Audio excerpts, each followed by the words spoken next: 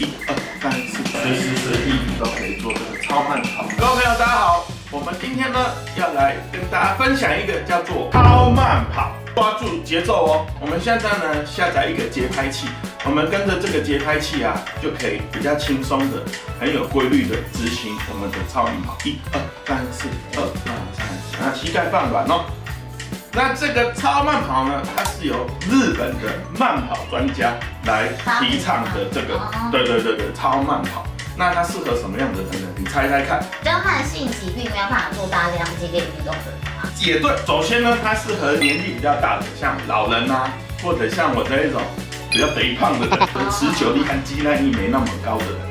适合来做这个超慢跑，因为呢，它不是高强度的运动。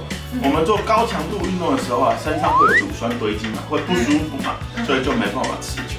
那我们做这个超慢跑呢，因为它的强度呢不高，所以我们可以一直持续的不停的动作，达到我们的运动效果。那它最大的好处呢，就是可以随时随地想跑就可以跑。现在换一个位置。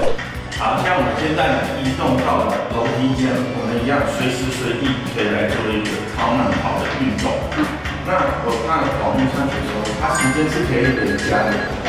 例如说你在那边跑十分钟，那你在楼梯间再跑十分钟，你今天就跑了二十分钟哦。我们把乳酸堆积的水平拉得很低，我们就可以长时间的去动作。像我们现在呢，还可以再换一个位置。我们现在呢，又移动到了一个新的地点。那我们随时随地呢，都可以做这个超慢跑。那我们上身呢，要怎么摆动呢？其实很简单，你也可以轻松一点，手可以放下来。那如果我们腰酸呢，腰也可以动一下。